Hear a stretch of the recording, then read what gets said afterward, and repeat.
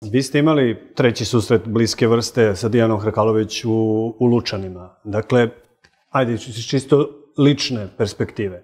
Kako ste doživjeli taj susret? Zašto ste optužili da je ona zapravo došla da hapsi opoziciju u, u Lučanima i šta nam možete reći o njenom uticaju na, na, na policiju, na policijsku strukturu iznutra? To pre svega e, ima jednu predistoriju i važno je naglasiti šta se zapravo toga dana dešavalo. Toga dana su bili lokalni izbori u opštini Lučani.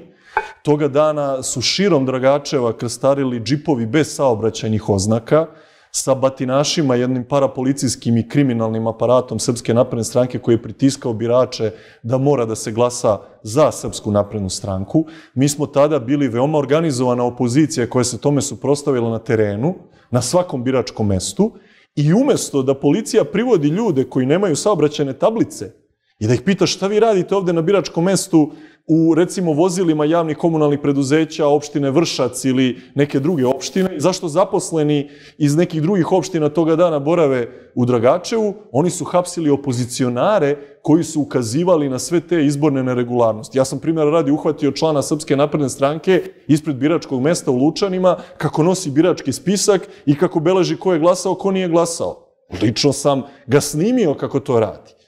Umesto, dakle, da policija reaguje na to kršenje zakona i da redom hapsi sve te koji su na taj način činili te izborne neregularnosti, oni su počeli sa hapšenjem nas, opozicionara, koji su toga dana se suprostavljali toj izbornoj krađi. Toga dana je više desetina ljudi na različite načine maltretirano i privođeno u policijsku stanicu u Guči.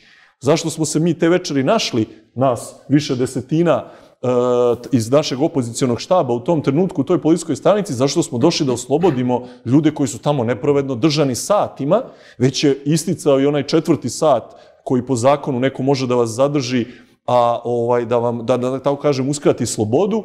I kada smo se mi pojavili u policijskoj stanici u Guči mi uopšte nismo znali da je Dijana Hrkalović tu. Nego naš ulazak u policijsku stanicu i naš razgovor sa tamošnjim policajcima je nju isprovocirao da se ona pojavi pred njama, misleći valjda da će nekom snagom autoriteta da nas uplaši ili šta već, a zapravo se ona tada otkrila. To je bio prvi put kada ste Dijanu Hrkalović, kada smo je zajednički ulovili i pokazali je kompletno javnosti u Srbiji. Kako zapravo iza batinaških odreda, kako iza izbornih krađa i neregularnosti širom Srbije na lokalnim izborima zapravo stoji policija i stoje kriminalci u službi ovih parapolicijskih organa. Dijana Hrkalović je bila državni sekretar Ministarstva unutrašnjih poslova koja se direktno uključila u izborni proces, što je apsolutno nedopustivo. Šta državni sekretar Ministarstva unutrašnjih poslova radi u jednoj policijskoj stanici na dan izbora, izuzev ako ona nije tada koordinirala svim tim kriminalcima u tim džipovima bez saobraćenih oznaka.